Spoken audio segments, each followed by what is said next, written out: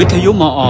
มหาวิทยาลัยสงขลานครินทร์ร่วมเปิดตำราตั้งวงสนทนาในชุมชนวิชาการ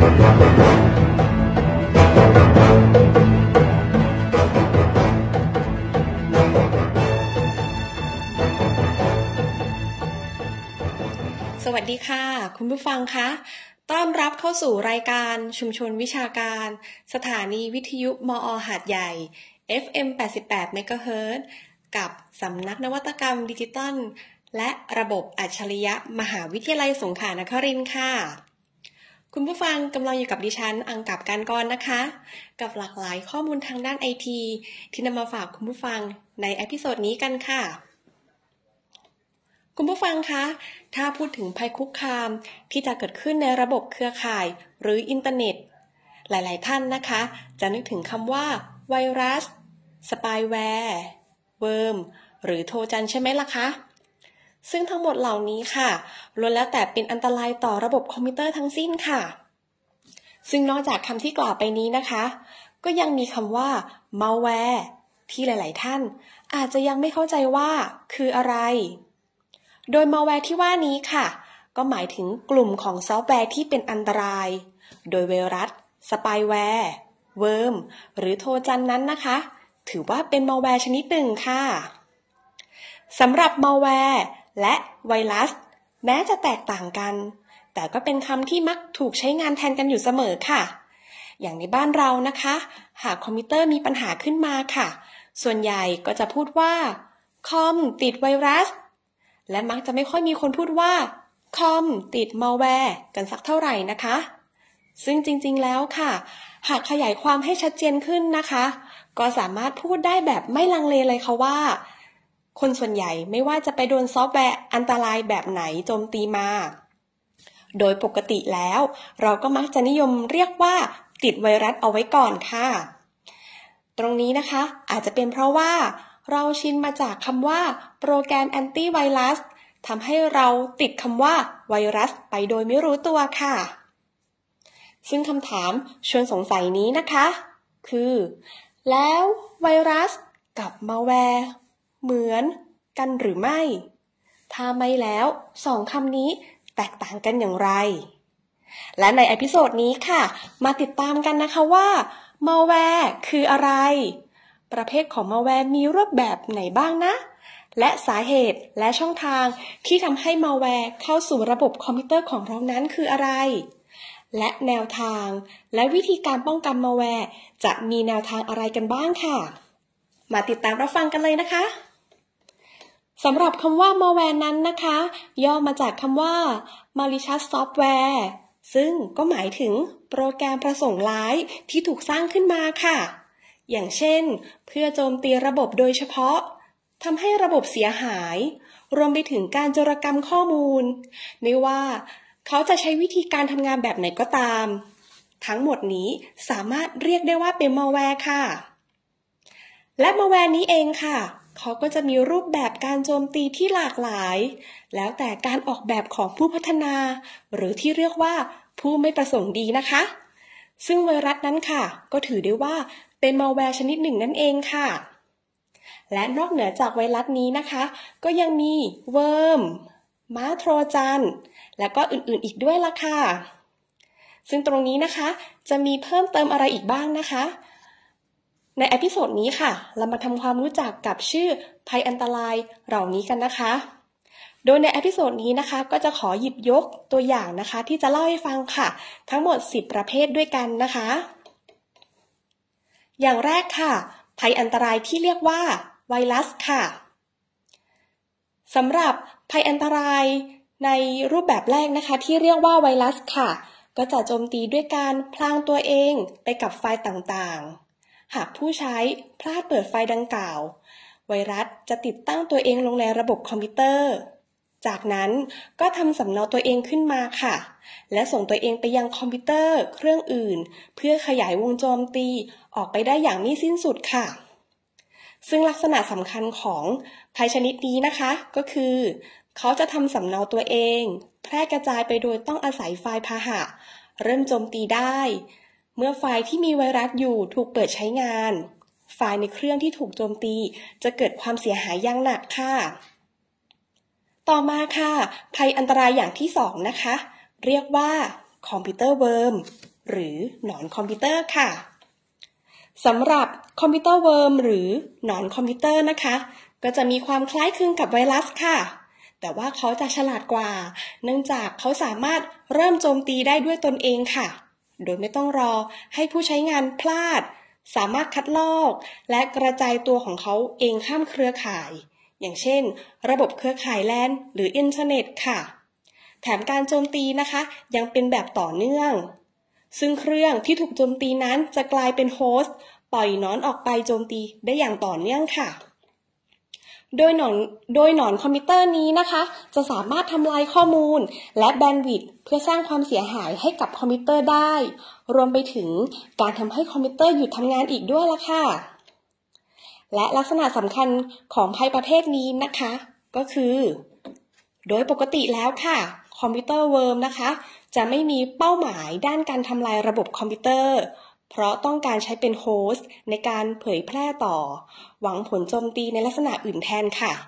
และก็ต่างจากไวรัสตรงที่เริ่มโจมตีได้เองแบบอัตโนมัติค่ะ ต่อมาค่ะ ภัยอันตรายอย่างที่ 3 ค่ะ มีชื่อว่าโทรจันฮอสหรือม้าโทรจันค่ะสำหรับม้าโทรจันนี้นะคะ ก็เช่นกันค่ะ เขาก็จะเป็นมาแวร์ที่ปลอมตัวเป็นไฟล์ธรรมดาทั่วไป ที่ไม่มีพิษมีภัยค่ะ อย่างเช่น ปลอมตัวเป็นไฟล์ Excel ที่ดูปลอดภัย แต่ทันทีที่เราเปิดไฟล์นั้นขึ้นมานะคะ มาร์โทรจันค่ะ ก็จะเริ่มทำงานอีกทีค่ะ และลักษณะสำคัญของภัยอันตรายประเภทนี้ค่ะ ส่วนใหญ่นะคะแฮกเกอร์ค่ะ จะใช้มาร์โทรจันในการเปิดประตูให้ระบบ เพื่อการโจมตีขั้นถัดไป อย่างการเข้ามาล้วงข้อมูล หรือแอบดูกิจกรรมการใช้งานคอมพิวเตอร์ หรือว่าขโมยรหัสผ่านค่ะ ต่อมาค่ะภัยอันตรายอย่างที่ 4 ค่ะ มีชื่อว่า root kit ค่ะสำหรับ root kit นี้นะคะ จะเป็นมาแวร์ที่มีคุณสมบัติอยู่ 2 อย่างค่ะ ก็คือการเข้าถึงสิทธิพิเศษของระบบ และพรางตัวไม่ให้ถูกจับได้ค่ะ ซึ่งชื่อของเขานะคะ ก็มาจากคำว่า root ของระบบ Unix หรือ Linux นะคะ ที่หมายถึงการเข้าถึงการถึงสิทธิพิเศษนะคะ ส่วนคิดค่ะ มาจากคำว่า ทูนคิด หรือชุดเครื่องมือ เมื่อรวมกันก็หมายถึงมาแวร์ที่ทำงาน ในส่วนสำคัญระบบปฏิบัติการที่ต้องใช้สิทธิพิเศษในการเข้าถึง และมีเครื่องมือโจมตีหลายชนิดอยู่ในตัวค่ะ สำหรับตัว rootkit นะคะ ซึ่งจะมีแบ่งออกเป็นหลายระดับด้วยกันค่ะ ก็คือระดับเบานะคะ ก็จะซ่อนตัวซ่อนการทำงานอยู่ในตัวซอฟต์แวร์ค่ะ ส่วนระดับปานกลางค่ะ ก็จะซ่อนใน device driver นะคะ แล้วก็ระดับรุนแรงที่สุดค่ะ ก็จะซ่อนตัวอยู่ใน kernel หรือ boot loader นะคะสำหรับการลบ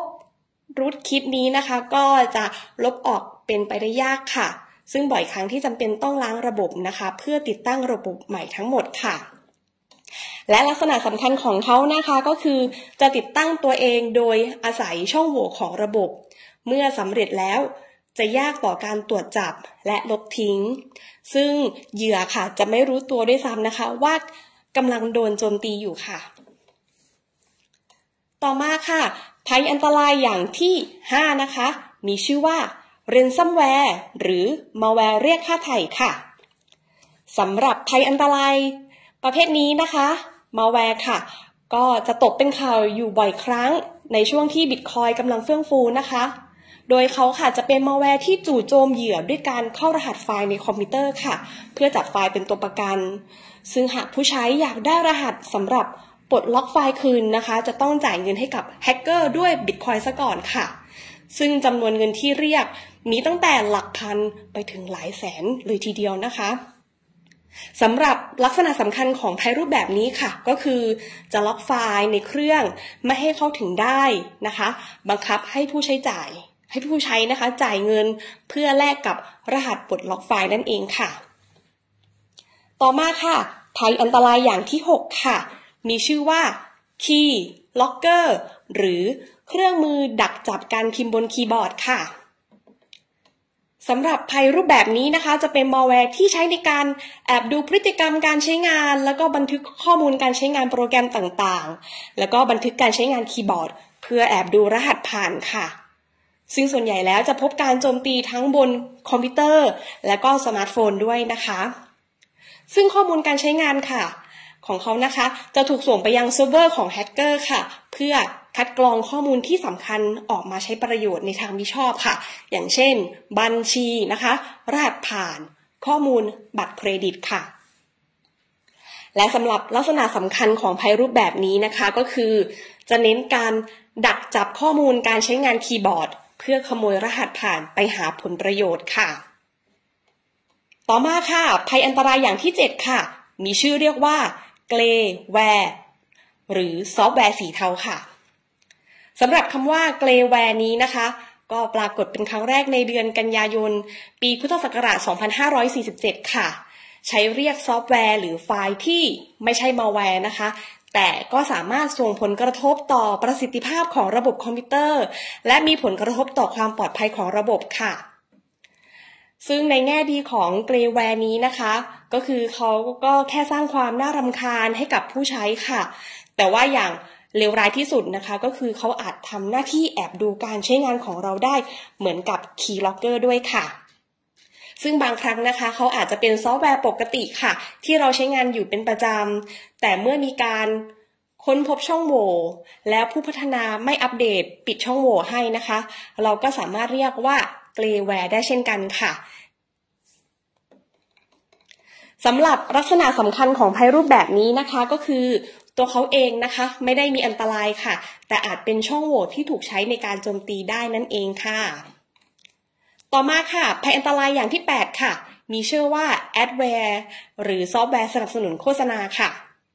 สำหรับภัยรูปแบบนี้นะคะ ถือได้ว่าเป็น grayware ประเภทหนึ่งค่ะ โดยออกแบบมาเพื่อแสดงผลโฆษณาบนหน้าจอของผู้ใช้งานเครื่องคอมพิวเตอร์ค่ะ และส่วนใหญ่จะปรากฏบนเว็บเบราว์เซอร์หรือไม่ก็หน้าต่างป๊อปอัพเด้งขึ้นมาบนหน้าจอนะคะ ซึ่งโดยปกติแล้วแอดแวร์ค่ะ จะมาในรูปแบบของการทำตัวเป็นซอฟต์แวร์ที่ไม่มีพิษภัย หรือไม่ก็มาแบบทื่อๆเลยนะคะกับตัวติดตั้งโปรแกรมค่ะ ซึ่งถ้าหากว่าผู้ใช้งานอย่างเรานะคะ ติดตั้งโดยที่ไม่ได้อ่านรายละเอียดให้ดีนะคะ เราเองก็อาจจะเป็นคนติดตั้งแอดแวร์ลงเครื่องด้วยตนเองโดยที่เราไม่รู้ตัวค่ะ โดยเฉพาะอย่างยิ่งในบรรดาโปรแกรมฟรีต่างๆ นั่นเองค่ะ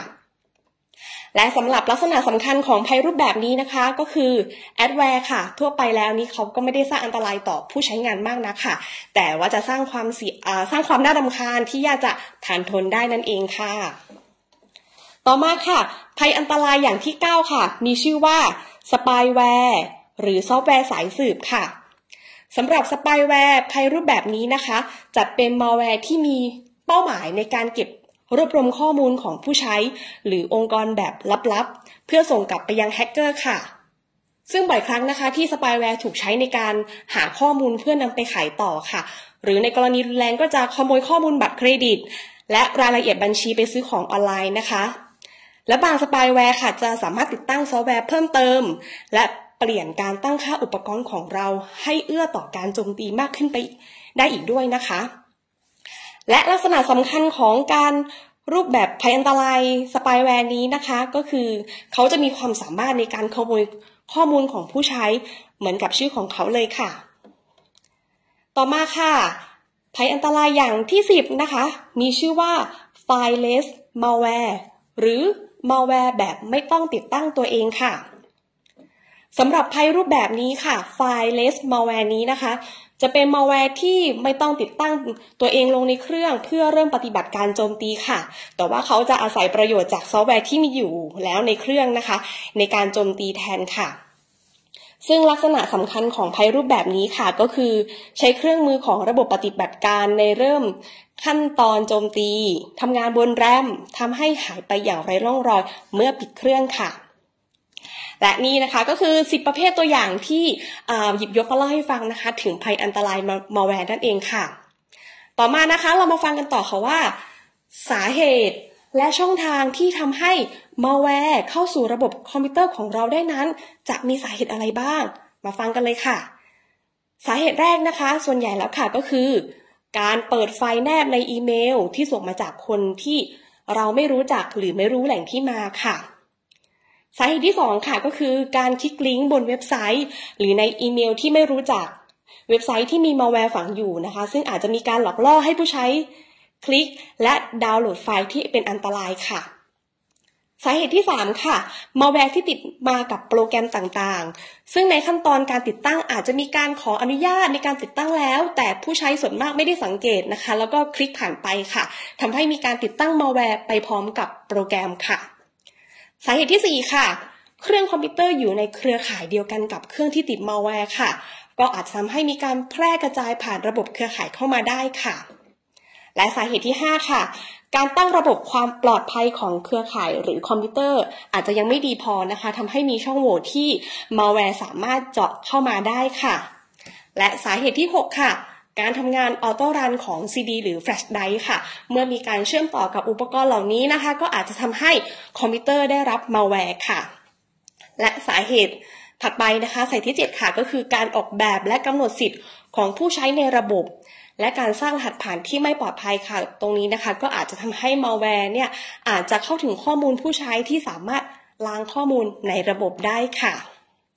อันนี้นะคะก็คือเป็นสาเหตุที่อาจจะทำให้มาแวร์เข้าสู่ระบบคอมพิวเตอร์ของเราได้นะคะ เรามาดูกันค่ะว่า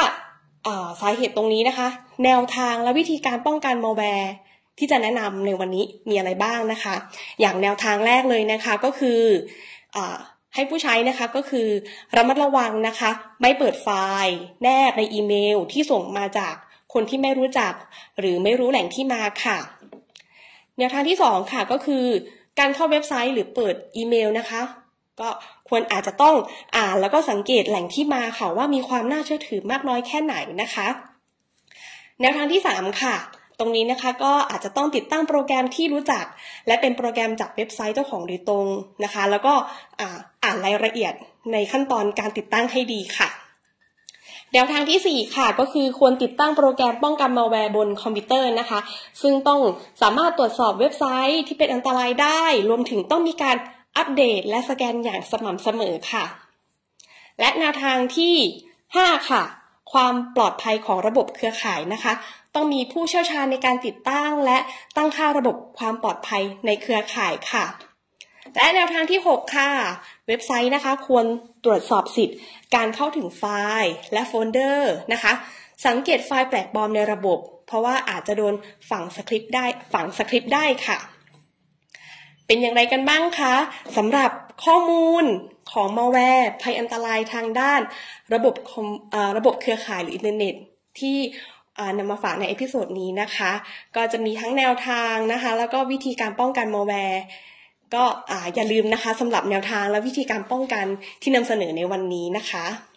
และในข้อมูลที่ดีๆ ที่มาแนะนำแก่ทุกท่านใน episode นี้ค่ะ ดิฉันคะก็ต้องขอขอบขอขอบพระคุณนะคะ แหล่งข้อมูลที่ดีๆ จากเว็บไซต์ antivirus.in.th นะคะ ซึ่งเป็นเว็บไซต์ที่ถูกพัฒนาขึ้นโดยบริษัทไทยแวร์คอมมิวนิเคชันจำกัดนะคะ แล้วก็เว็บไซต์ www.mdsoft.co.th ค่ะ ซึ่งเป็นบริษัท mdsoft จำกัดด้วยนะคะ ขอขอบพระคุณค่ะ และเช่นเคยค่ะในช่วงสุดท้ายของ episode นี้นะคะ ดิฉันค่ะ ก็มีข้อมูลประชาสัมพันธ์มาฝากท่านผู้ฟังกันด้วยค่ะ นั่นก็คือสำนักนวัตกรรมดิจิทัลและระบบอัจฉริยะ มหาวิทยาลัยสงขลานครินทร์นะคะ ที่นี่ค่ะเรามีบริการอบรมคอมพิวเตอร์ค่ะ โดยเปิดอบรมคอมพิวเตอร์ที่หลากหลายหลักสูตรนะคะโดยทางสำนักค่ะ มีเปิดอบรมคอมพิวเตอร์เป็นประจำทุกเดือนนะคะ ก็จะมีหลักสูตรอบรมทั้งในเวลาราชการ และนอกเวลาราชการค่ะ สำหรับท่านผู้ฟังที่สนใจนะคะ ก็สามารถติดตามข้อมูล ตารางหลักสูตรอบรมคอมพิวเตอร์นะคะ หรือว่าค่าลงทะเบียนได้ที่เว็บไซต์ของสำนักนวัตกรรมค่ะที่เว็บไซต์ diis.psu.ac.th ค่ะ หรือว่าทางแฟนเพจ Facebook นะคะ พิมพ์ค้นหาบน Facebook คำว่าสำนักนวัตกรรมดิจิตอลและระบบอัจฉริยะมมจุดอจุดนะคะ หรือว่าพิมพ์ภาษาอังกฤษว่า PSU DIIS ค่ะ ซึ่งนอกจากตรงนี้นะคะทางสำนักของเราค่ะ ก็ยังมีบริการรับจัดอบรมเป็นกลุ่ม เป็นหมู่คณะให้ได้ด้วยนะคะ